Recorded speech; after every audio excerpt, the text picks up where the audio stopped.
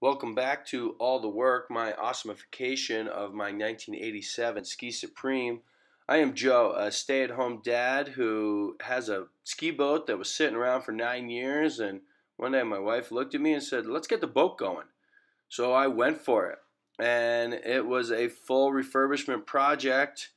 I ripped out the driver's side floors. I repaired the stringers. I repaired a giant crack. I did a ton of sanding. I made huge messes. I learned how to fiberglass. I figured out a better way to rip out the foam. I crashed the boat in the foam pouring setup. I poured foam back in the boat. I learned how to gel coat. I painted the rusty brackets. I removed the prop and replaced the strut bearings and then put the engine back in. And now we are in season two, the next summer, when I am getting this thing cleaned up from all this mess and actually ready for the water. Day 97 of the boat build, and I am continuing with the in dash cooler experiment. Now, the day before, I had got my plugs built and didn't have any fairing compound, so I was going to try and use a little bit of peanut butter to make a fairing compound, hopefully smooth them out enough that I could just do a little bit of sanding and have a plug smooth enough to be able to pop out the the mold when I was done with it. Now I quickly find out that that's not going to be the case as I'm sanding around this thing. The, the material is just way too hard. I can't sand through it. I can't make it sand enough. Um, I have some solid plugs here they're pretty close. If I had the time and bought them more materials, the polyester fairing compound, I, these things would be totally usable. Um, and it was pretty evident right away when I started doing this that it, it wasn't going to work. But I wanted to get them cleaned up and at least storable. Um, so I just sanded them down, got all the fiberglass little strands at the edges all cleaned up and smoothed off, so that at least I can have them around the house. So, and I'm not terrified that the boys are going to cut their fingers on them. So I just finished that up, and now at this point, the cooler experiment is just that. It's an experiment. It's not going to work. Um, so I'm putting that away, and you know, I do say though that if, if this channel ever starts making money, that I will absolutely cut into the dash of this boat and put a in dash cooler in this thing because I want it. I think it'd be totally awesome, but I, I need to have some money coming in before I do that. Um, so now I'm on to making moves and getting this thing closer to being finished up. Um, I just went around the boat and I took off all the little snaps that are for keeping the boat cover on. Uh, I removed them all out because I'm going to have to paint and everything. Um, and here I am block sanding the gunnel where uh, the tree fell on in the hurricane. Um, just trying to get it smoothed out, trying to get the gunnel matched up so it looks really good uh, for painting later. So I used a, just a 2x4 with a sheet of, I think, 60 grit sandpaper to get at it. Got it pretty good early, and eventually I'm going to have to come back and do some more fairing. Not a bad part of the project. Felt kind of good to be finally shaping it and, and doing some work that would last until the end. And just had to. This is another thing where it takes hours, where you just feel it. Where like this hour and a half of sanding just had to be done, and I had to just stand there and focus on it and sand away.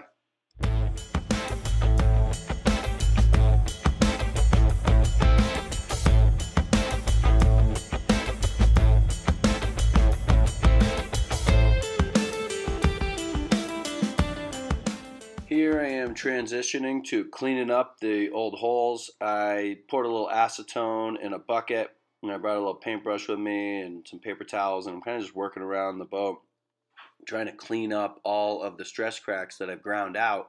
There's a bunch of um, dust still inside them, so they're kind of tough to get all that out. So I'm going to be able to get really good, clean fairing into those. Now, I certainly thought that I had missed all this footage and in the, the last update video, or one of the last update videos, I, I took credit for having done this all in the 22 days that I missed on footage. However, here it is right here being done. But that video is already edited and posted, and who cares? Just sticking with the theme of making mistakes and moving forward.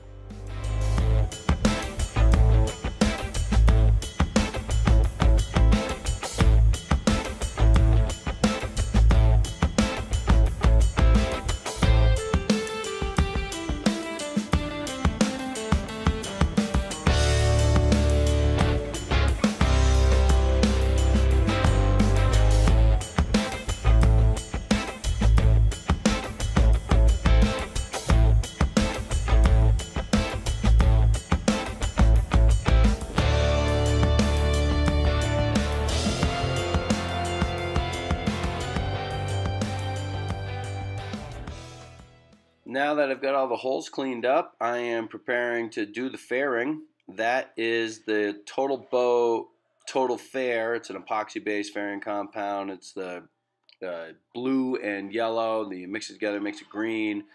This stuff is totally awesome. It works really, really good. And now it is a little chilly. You can see how windy it out it is. Um, so the fairing is a little thick. Um, I definitely mixed up way too much in this first round of fairing, and it got hard on me. The working time wasn't as long as I thought it would be. It's about 20 minutes. 20 minutes is not a lot of time when you're moving and doing these little things. So I think I used like three tablespoons of each for the first round, and then after that, I only do one tablespoon of fairing compound of each uh, to go through and do my fairing. Um, it just seemed to work a lot better that way. After a slight break, probably went and got some water, I come back out and now I'm mixing up the single tablespoon of each, a little bit smaller batch, and I am back at it. Another thing that I should note here is my approach when I was going at this first round was that I wanted to gob it on thick and hopefully get away with just doing one session of fairing and then I could sand and be ready to paint. Um, this was probably a ignorant way to go about it because kind of everything I've seen is you do a couple, sometimes even three rounds of fairing to get something perfect. And I wish I had gone with that approach, knowing that I was going to do multiple rounds of fairing the first time, because when I gobbed it on, I left myself a lot of sanding to do, versus scraping it in thin, knowing that I was going to come around and sand again, and then go around and do a little more fairing.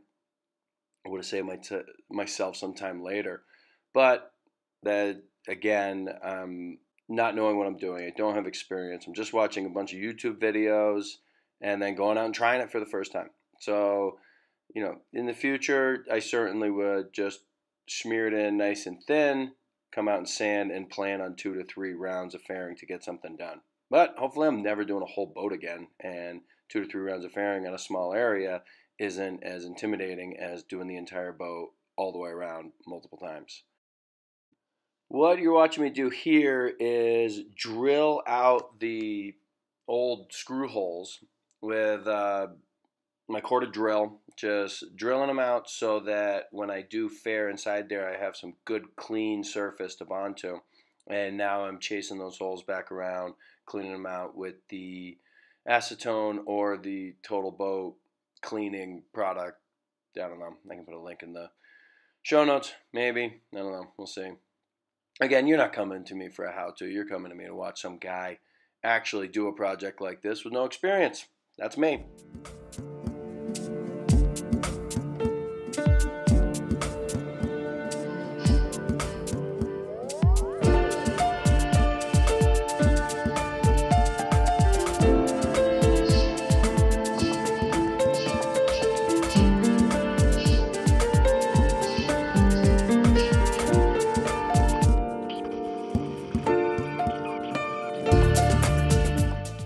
At this point, I have finished putting all the fairing compound in, and now I'm putzing around trying to figure out what to do next. Wishing that the stuff would set up a little bit faster so I could get right to sanding. Obviously, that's not going to happen. I do pull the vacuum out and do just a little bit of cleaning, um, trying not to touch the fairing compound as best I can. Um, right now, just trying to make some progress while I'm waiting for the fairing compound to set up.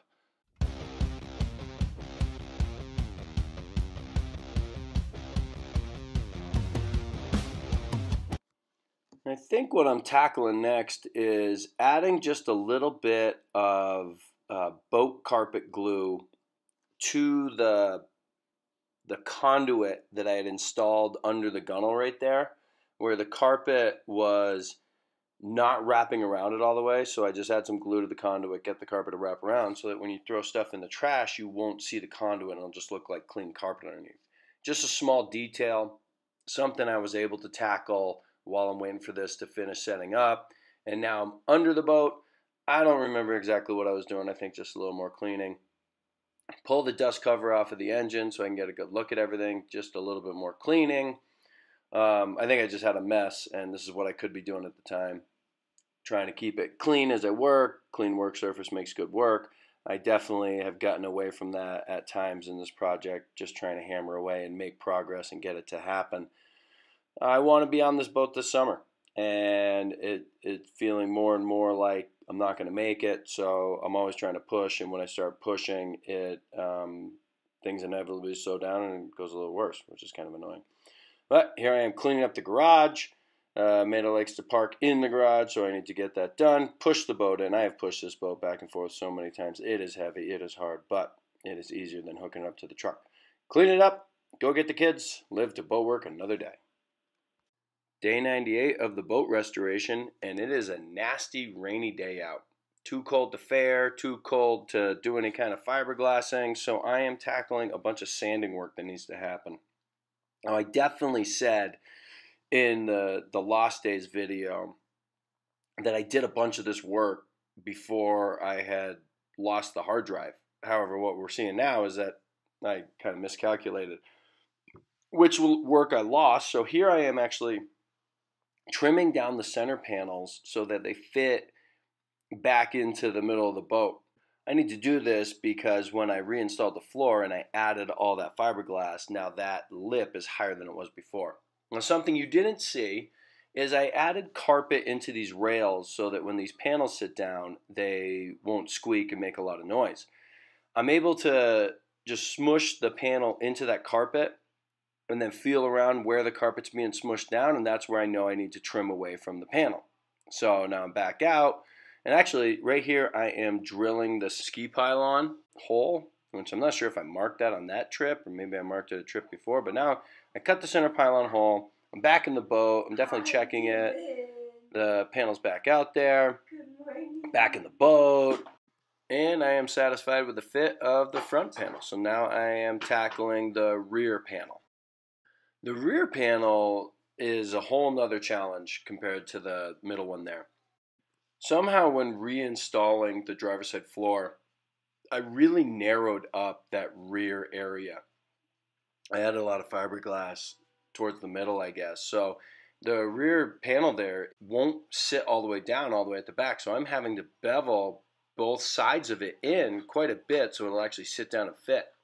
Um, so I guess I accomplished that. Now I am doing a proper masking job of the boat. Something that I probably should have done a long time ago. However, what I do find is that if you leave the tape on too long, it gets all gooey and nasty. So maybe I did do it at the right time. Who knows? But what I'm doing here is just a really thorough masking job of the boat so that I can do all the sanding and hopefully all the way into the painting for the next phase of this thing without messing up any of the good work that I've already done. So I'm just using paper and tape and maybe I should have been using the blue tape here but I wanted to just get a really good hold so I'm using the, the white tape. Um, sweep everything up, get it clean, uh, mask it out. Uh, I've masked the engine, and the idea here is that I will just throw my drop cloth over the engine, it'll butt up over the paper each time, and I'll have a really clean work surface to be going at the next phase of this thing with.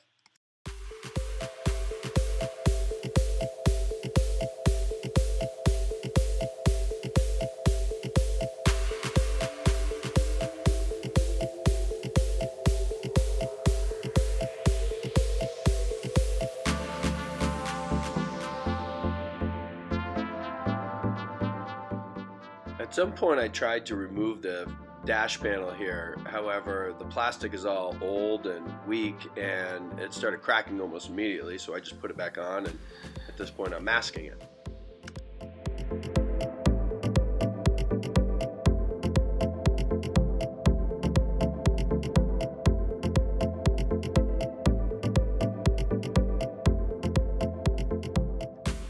Now that I have the boat outside, it's fully masked, I have the drop cloth over the engine, I am tackling the sanding. Uh, the sanding goes great with this fairing compound. It sands super easy, sands really smooth. I believe at this point I'm using 150 grit sandpaper. Uh, I've got my orbital sander, I've got it hooked up to the vacuum cleaner. It is pretty clean at this time. I'm doing a lot better job this round of being clean with everything I do. Um, sanding over that gunnel spot where I did the big repair. I, I uh, sanded that thing out and ground it down to the fiberglass for a big, about a two foot section on the sidewall of the boat there.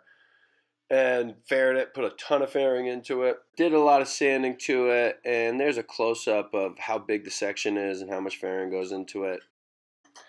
At this point, uh, storm would come in. You can see how wet the driveway is there, and I sanded on it right up until the moment that I had to push it in. So I pushed it in, and it rained the rest of the day.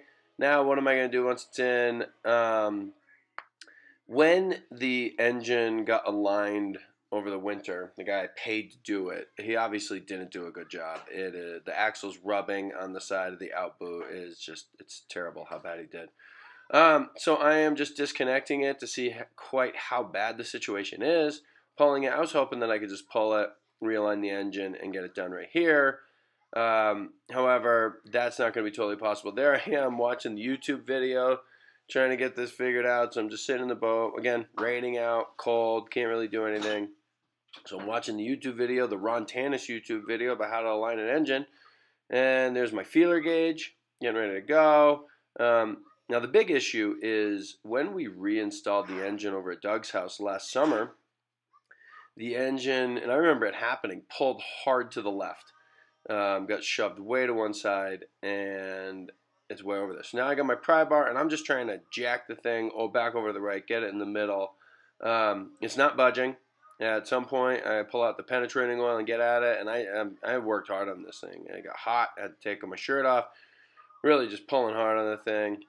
Right here, I'm putting cardboard down underneath it so that when I put the penetrating oil in, it'll drip down to the cardboard and not make a mess of the bottom of the boat. And I just got at it, tap, tap, tap with a hammer, trying to make it move. Uh, long story short, in this session, it did not move. It took about three days of penetrating oil to get this thing to budge at all. And that's not happening right now. And um, I think at this point, I have hit it with WD 40, maybe not the real penetrating stuff. And now I am tackling the rudder. The rudder is a whole nother issue. Uh, when I picked it up from the guy who aligned the engine improperly, uh, he told me that I wasn't going to be able to put the propeller back on the boat because the rudder was going to be in the way, and I was going to have to drop the rudder out to get the um, propeller back on the axle. Now, would, at which time I was like, why didn't you just call me and I could have driven the propeller down? But I didn't think of that at the time. So another just like the guy was just terrible. And it just bums me out even talking about it right now. So here I am trying to get the rudder out.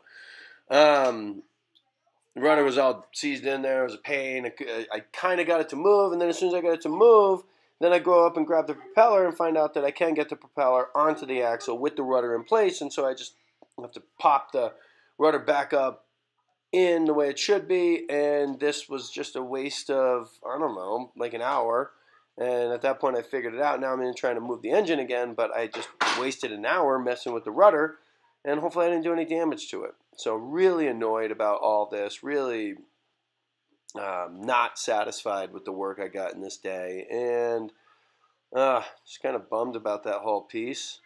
But is what it is. The last thing I did on this day was grab my out of battery electrical system and lay down up in the nose of the boat and mock it up in there. Try and figure out where it's going to fit, how I'm going to install it, how it's all going to work. And just do that for a little bit until it's time to go pick up the boys and do boat work tomorrow.